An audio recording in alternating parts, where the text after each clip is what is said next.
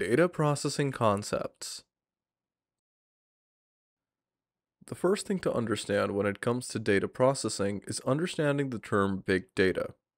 So, what is big data? Big data started out as a problem that needed an innovative solution. As we became technologically advanced, the data we generated increased, and the rate at which we could process it couldn't keep up with the rate at which we produced it. That is where the term big data was born. When people talk about big data, they're actually talking about either a massive data set or the technology behind handling those data sets. We're more concerned with the former, the big data sets. But that's not all big data is about. There's more that defines exactly what big data is.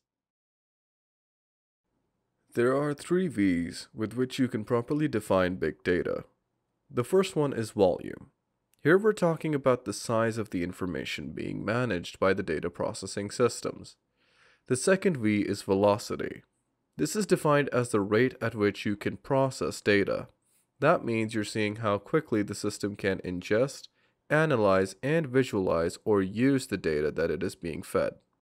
Last comes variety. This is how varied your data is. Data comes in all shapes and sizes, and there's a lot of different formats, qualities, and sources when it comes to data.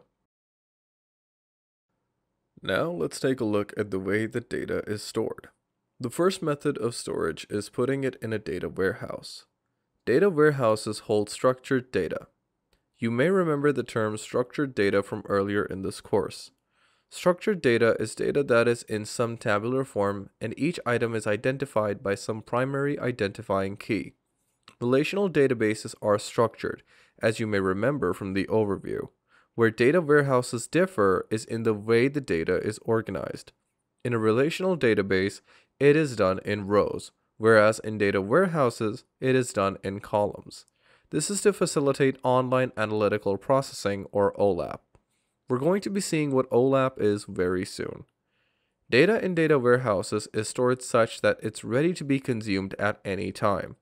However, the structure of data warehouses is rigid and cannot be changed easily, and even though the data is easier to understand, it's not as up to date as it could be.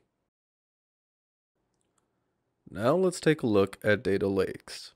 You can store raw and unstructured data in a data lake. So, where you could say that a data warehouse stores the vegetables that are good and clean to be consumed by people, a data lake, by comparison, stores all the vegetables, even the ones that are no good for consumption. The data in a data lake is ready for analysis at all times and is the most up to date that it can be. However, you may need some more technical analysis tools to get the job done. Data lakes are flexible, simply due to their non structured nature. Any new type of data can be added anytime.